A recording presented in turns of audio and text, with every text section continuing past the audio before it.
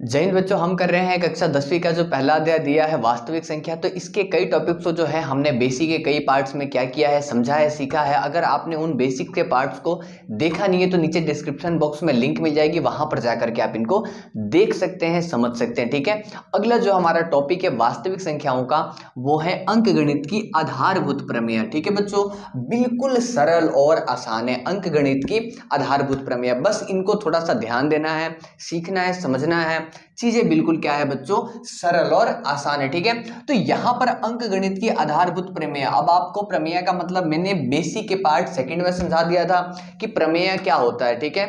और यहाँ पर अंक गणित की आधारभूत प्रमेय का कथन क्या है? तो देखो, प्रमेय या कथन क्या होते हैं? प्रमेय या प्रमेयिका क्या होते हैं? इसको थोड़ा सा समझ लो, मैंने पहले ही बता रखा फिर एक बार बता दे रहा हूँ। प्रमेय का मतलब होता है वे कथन जो सदैव क्या होते हैं? सत्य होते हैं। क्लियर बात? तो यहाँ पर ध्यान दो, यहाँ पर ध्यान दो।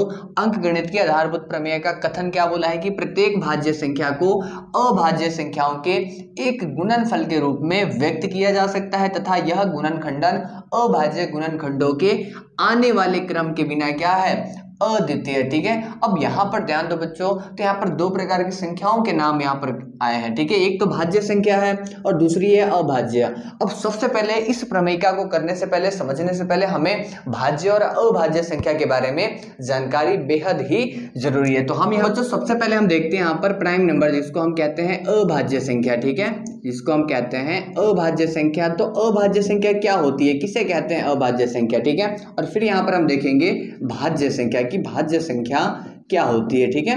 अब यहाँ पर ध्यान दो बच्चों थोड़ा सा तो अभाज्य संख्या को हम क्या कहते हैं? प्राइम नंबर कहते हैं इंग्लिश में। अब क्या होती है अभाज्य संख्या? तो अभाज्य संख्या ऐसी संख्या ऐसी संख्या जिसके केवल और केवल दो गुणनखंड होते हैं। क्या होते हैं? केवल और केवल दो ही गुणनखंड होते हैं। देख लो यहाँ पर मैं लिख दे रहा हूँ नीचे कि केवल कितने गुणनखंड होते हैं?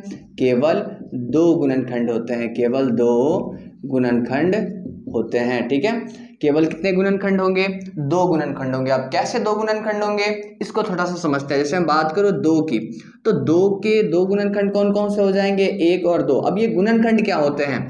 गुणनखंड का मतलब ये हो गया कि दो में किन किन संख्याओं का पूरा पूरा भाग जा सकता है। वही क्या कहलाएगा? गुणनखंड कहलाएगा। जैसे दो में एक का पूरा पूरा भाग जाएगा और दो में दो का जाएगा। इन दो गुणनखंडों के अलावा किसी तीसरी संख्या में भाग नहीं जा सकता तो ऐसी संख्याओं को हम क्या कहते हैं? अभाज्य संख्या कहते हैं। जैसे तीन की बात करें तो तीन में बच्चों ध्यान दो तो एक और तीन के अलावा किसी अन्य संख्या का भाग नहीं जा रहे तो उसके भी कितने गुणनखंड हुए? दो गुणनखंड हुए। अगर बात करें पाँच की तो पाँच में भी ध्यान दो तो एक और पाँच के अलावा किसी तीसरी संख्या में क्या नहीं जा रहा है? भाग नहीं जा रहा है, ठीक है? सात की बात करें और सात के बाद में ग्यारह की बात करें तो इन संख्याओं के भी जो गुणनखंड होंगे वो कितने आएँगे बोलो?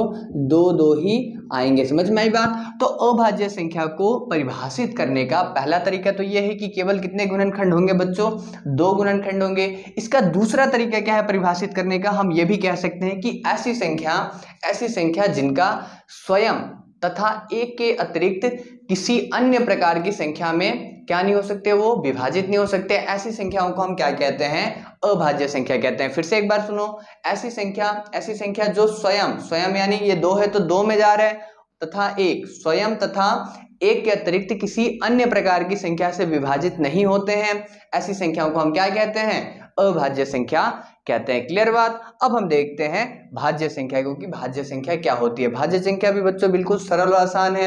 इनको बस थोड़ा सा आपको ध्यान से समझना है, सीखना है और जो भी चीज़ यहाँ पर बताई, समझा जा रही है, उनको अपनी कार्य पुस्तिका में नोट करना, ठीक है? और हमारे चैनल पर नए पधारे हैं और इसी प्रकार से बेहतरीन तरीके से सभी चीज़ों को समझना, सीखना चाहते हैं तो सब्सक्राइब कर ले, अपने दोस्तों के साथ शेयर भी कर दें। देखो यहाँ पर तो अब हम समझते हैं भाज्य संख्या, जिसको हम कॉम्पोजिट नंबर कहते हैं। समझ में आई बात? अब ध्यान दो तो इसके ठीक विपरीत हो जाएगा। जैसे इसमें केवल दो गुणनखंड होते हैं तो इसमें क्या हो जाएँगे? दो से अधिक गुणनखंड। ठीक है? ऐसी संख्याएँ जिसके, ठीक है? जिसके या जिनके जिनके दो से अधिक, दो से अधिक क्या होते हैं? दो से अधिक गुणनखंड होंगे। इसके क्या होंगे बोलो बच्चों? दो से अधिक गुणनखंड होंगे। इसके दो से अधिक गुणनखंड होंगे। ऐसी संख्या है जिनके दो से अधिक गुणनखंड होते हैं। उन्हें हम क्या कहते हैं? बोलो बच्चों, उन्हें हम भाज्य संख्या कहते हैं। अब कैसे दो से अधिक गुणनखंड? इसको भी समझते हैं। जैसे यहाँ पर हम बात करें चार की। ठीक है? तो चार के देखो कौन कौन से गुणनखंड आएँगे? एक, दो और चार। क्योंकि इन तीनों से चार का पूरा पूरा क्या हो जाएगा? भाग चला जाएगा। समझ में आई बात? अब बात करते हैं जैसे यहाँ पर छः की। तो छः में भी देखो छः में एक का भी जाएगा, दो का भी जाएगा, तीन का भी जाएगा और खुद छः का भी जाएगा। तो इसके कितने गुणनखंड आ गए चार गुणनखंड आ गए। समझ में आई बात? उसी प्रकार से अगर हम बात करें आठ की, नौ की, दस की, बारह की, चौदह की तो ये भी क्या होते हैं? उनके भी दो से अधिक क्या आएँगे? गुणनखंड आएँगे। तो एक तो तरीका क्या हुआ भाज्य संख्या को परिभाषित करने का कि जिनके दो से अधिक क्या होते हैं? गुणनखंड होते हैं। उन्हें हम क्या कहते हैं? भाज्य संख्या कहते हैं। एक अन्य परिभाषा क्या हो सकती है कि ऐसी संख्याएँ ऐसी संख्याएँ जो एक तथा स्वयं के अतिरिक्त अन्य संख्याओं से भी क्या होती हैं? विभाजित हो सकती हैं, उन्हें हम भाज्य संख्या कहते हैं। इसमें क्या होता है कि स्वयं और एक के अलावा विभाजित नहीं हो सकती, जबकि इसमें एक और स्वयं के अतिरिक्त अन्य संख्याओं से भी भाज्य संख्याएँ क्या होती हैं? विभाजित होती हैं। समझ में आई बात? तो भाज्य और अभाज्य क्लियर हो गया। अब हम बढ़ते हैं अपने अंक गणित के आधारभूत प्रमेय तो बच्चों हमने भाज्य संख्या और अभाज्य संख्या को समझ लिया। अब आपको अंक गणित के आधारभूत प्रमेय बिल्कुल बेहतरीन तरीके से समझ में आएगा ठीक है? तो यहाँ पर क्या बोल रहा है कि प्रत्येक भाज्य संख्या को अभाज्य संख्याओं के एक गुणनफल के रूप में व्यक्त किया जा सकता है ठीक है? सबसे पहले यहाँ पर क्या बोला है? प्रत्येक भाज्य संख्या को जैसे मैं एग्ज़ाम्पल के तौर पर एक भाज्य संख्या छः ले लेता हूँ, ठीक है? और यहाँ पर क्या बोला गया कि जो भाज्य संख्या को, ठीक है, जो भाज्य संख्या है, उसको अभाज्य संख्या के एक गुणनफल के रूप में व्यक्त करना है, ठीक है? इसको अभाज्य संख्या के गुणनफल के रूप में तो अभाज्य संख्या के गुणनफल के रूप में हमने क्या कर दिया? व्यक्त कर दिया। दो गुणा तीन। समझ में आई बात? इसको हम ये भी लिख सकते हैं।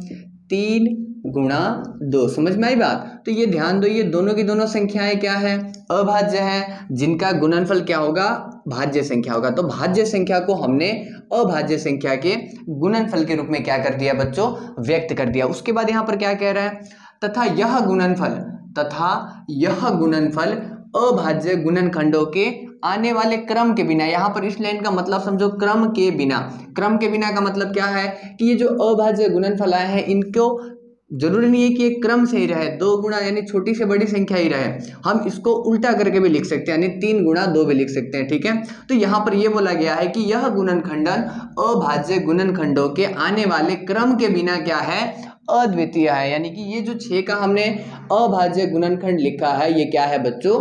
अद्वितीय भी है। क्लियर बात? तो ये होती है हमारी अंक गणित की आधारभूत प्रमेय। समझ में आई बात? अब हम अंक गणित की आधारभूत प्रमेय से के अनुप्रयोगों के बारे में क्या करते हैं, समझते हैं, सीखते हैं, जो कि बिल्कुल सरल है, आसान है। तो अब हम बढ़ते हैं। तो बच्चों, अब हम देखते हैं अंक गणित के आधारभूत प्रमेय के अनुप्रयोगों के बारे में, ठीक है? तो इसका मुख्य रूप से अनुप्रयोग अनुप्रयोग का मतलब होता है इसका उपयोग। कहाँ पर किया जाता है, कैसे किया जाता है, इसको हम समझते हैं। तो इसका जो उपयोग है एचसीएफ तथा एलसीएम ज्ञात करने में किया जाता है। और एच सी आपने पिछली कक्षाओं में भी क्या किया है, निकाला है। समझ में आई बात? एचसीएफ होता है हाइएस्ट कॉमन फैक्टर जिसको हम महत्तम समापवर्तक कहते हैं, और एलसीएम होता है लोवेस्ट कॉमन मल्टीपल जिसे हम क्या कहते हैं बच्चों? लघुतम समापवर्तक कहते हैं। क्लियर बात? तो हमें क्या करना है? इसकी अंक गणित के आधारभूत प्रमेय की सहायता से, ठीक है? क्या ज्ञात करना है? एच सी एफ़ तथा एल सी एम ज्ञात करना है, ठीक है?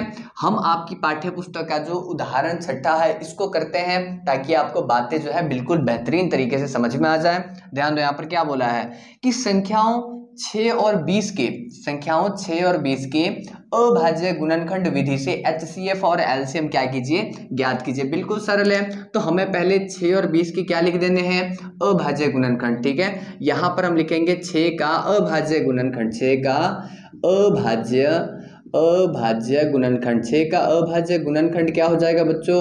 छ का अभाज्य गुणनखंड जो है, वो हो जाएगा दो इंटू तीन, ठीक है? ये क्या हो गया? छः का अभाज्य गुणनखंड उसी प्रकार से बीस का, उसी प्रकार से बीस का अभाज्य, बीस का अभाज्य गुणनखंड, बीस का अभाज्य गुणनखंड क्या हो जाएगा बच्चों? बीस का जो अभाज्य गुणनखंड होगा, वो होगा दो गुणा दो गुणा कितना हो जाएगा बच्चों? पाँच हो जाएगा, समझ में आई बात? अब यहाँ पर जो है, ये दो गुणा पाँच मैंने कैसे लिखा? आपने पिछली कक्षाओं में भी इस प्रकार से निकाला है, जैसे यहाँ पर छः की बात करें। तो आपको इस प्रकार से छः के अभाज्य गुणनखंड निकालने हैं। पहले छोटी संख्या से भाग देना है। दो से भाग देंगे, कितनी बार में जाएगा? तीन बार में। अब दो से जाएगा क्या? नहीं जाएगा। तो तीन से दो, कितनी बार में जा रहा है? एक बार में जा रहा है। तो अभाज्य गुणनखंड कौन से कौन से आ गया दो गुणा तीन। समझ में आई बात? इसी प्रकार से हमें बीस के भी निकालने हैं। तो बीस को पहले दो से भाग दो, दस बार में जाएगा, फिर से दो से जा रहा है ना तो फिर से कितनी बार में जाएगा? पाँच बार में। और फिर से यहाँ पर किससे भाग देंगे हम?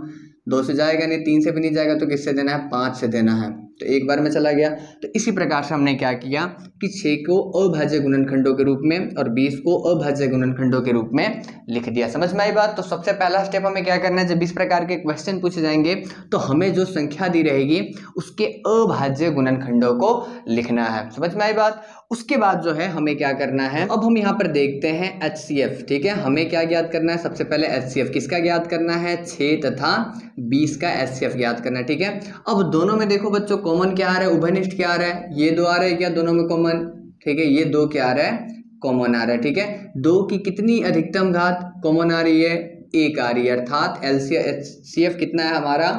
दो आ गया, ठीक है? हमारा मसब कितना आ गया बोलो? हमारा मसा आ गया दो। समझ में आई बात? जिसको हम कहते हैं हाईएस्ट कॉमन फैक्टर दो आया। अब हमें यहाँ पर ज्ञात करना है एलसीएम क्या ज्ञात करना है बच्चों? एलसीएम ज्ञात करना है किसका? छः और बीस का। एलसीएम ज्ञात करना है। तो अब ध्यान दो, जितने भी अलग अलग अंक है उनको लिख देना। जैसे इसमें दो आया है दोनों में।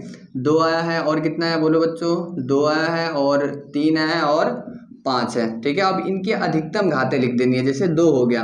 तो दो की अधिकतम घात कितनी है? यहाँ पर दो की अधिकतम घात दो है, ठीक है? तीन की अधिकतम घात कितनी है? एक है, और पाँच की अधिकतम घात कितनी है? एक है। तो हमारा एल्सियम कितना आया? दो की अधिकतम घात दो, तीन की अधिकतम घात एक और पाँच के अधिकतम घात एक। इसको हल करेंगे तो कितना आएगा? ये चार इंटू तीन इंटू पाँच। समझ में आई बात?